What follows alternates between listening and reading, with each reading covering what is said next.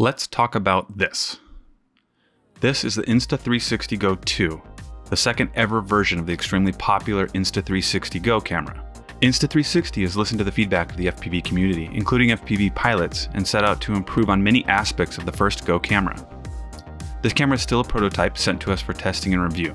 This is one of three videos we here at NewBeeDrone are planning on releasing, detailing everything this camera is and what it can bring to the market. We will be focusing primarily on how it applies to FPV, but most of what I talk about here can be applied to the camera's general usage. With that out of the way, let's get into it. Included in the box of the Go 2 is the camera dock with the camera housed inside, an easy clip for mounting the Go 2 to things like a hat. Please note that in the retail version, the easy clip will be black, not white. A pivot mount that has a reusable adhesive pad and an articulating camera mount. You can get an action camera mount adapter like this, but it will be sold separately. The Go 2 will also include a magnetic pendant that has a strap for putting around your neck. Please note that the dotted oval here on the pendant is where you mount the camera. USB-C cable for charging and connecting to your computer, and of course, documentation. All of the included mounts that are white hold the camera magnetically, where the action camera mount adapter holds the camera by sandwiching it into the mount. I feel like for most drone applications, the action camera mount will be the easiest to implement. Now let's get into the camera and charging dock. The camera dock houses the camera for charging or file transfer. It is held into the dock magnetically, similar to the original Go. The Go 2 does have a lens protector installed that can easily be unscrewed and replaced if it's cracked, scratched, or damaged. Insta360 will be selling Freewell ND filters in the 8, 16, 32, and 64 options. All of them will come in a set and will be available upon the release of the Go 2. You can start and stop recording from the button integrated into the front plate of the camera. This button will make 3D printing mount designs a little more difficult as the button is physical and can be easily pressed. Insta360 has increased the capture resolution slightly from 2720 by 2720 to 2880 by 2880. However, the standard output resolution was increased from 1080p to 1440p, and it's now capable of exporting 30 and 50 frames per second. The Insta360 Go 2 records an MP4 format with an H.264 codec and up to 80 megabits per second. As an FPV pilot, please keep in mind that the Pro Video mode is the recommended mode for FPV recording.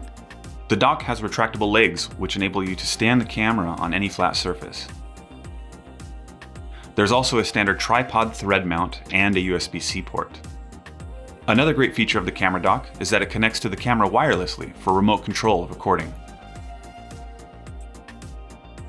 The charging dock has a record and selection button, as well as an LCD screen for changing capture modes and some of the capture settings, such as anti-flicker settings, power timeout, lid actions, recording codec, bitrate, etc.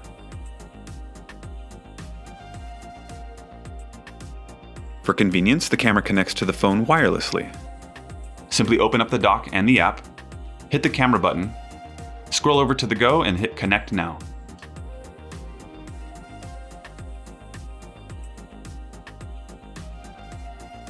Once connected, you will find all the useful settings laid out simply on the screen, and a preview window to make sure your settings are dialed in. Tap the gear icon and you can change modes, resolution, frame rate, and aspect ratio. Tap the camera looking icon to change video settings. One really great feature of the Go 2 is the ability to manually set ISO, shutter, and white balance. The Go 2 has an ISO range of 100 to 3200. Shutter range is from 1 over 30 all the way down to 1 over 8000. You can also change the white balance temperature from auto to between 2700 Kelvin all the way up to 6500 Kelvin.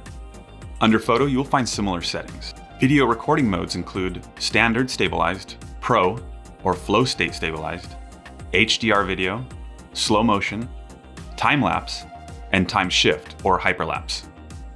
The camera weighs in at 27.76 grams, and with weight of quadcopter designs being so important, this camera can be a great stabilized HD camera addition without impacting the weight as drastically as a GoPro.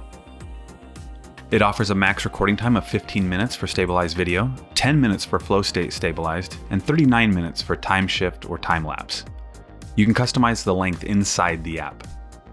The expected battery life with the camera outside the dock should give you about 30 minutes, depending on the mode you're filming in, and up to 100 minutes in the dock for flow state and 150 minutes for time lapse or time shift. For FPV stabilized recording, the maximum recording time is 30 minutes. That's basically the camera's full battery life when not attached to the dock. With the world of FPV steering toward lighter weight builds, focusing on a sub 250 grams, it's great to have a company like Insta360 creating and improving upon lightweight, stabilized HD cameras to pair with the ever shrinking quadcopter designs. I hope this video gets you as excited as I am about the camera and what it means for the future of the quadcopter industry. Insta360, chase adventure. Thank you for watching.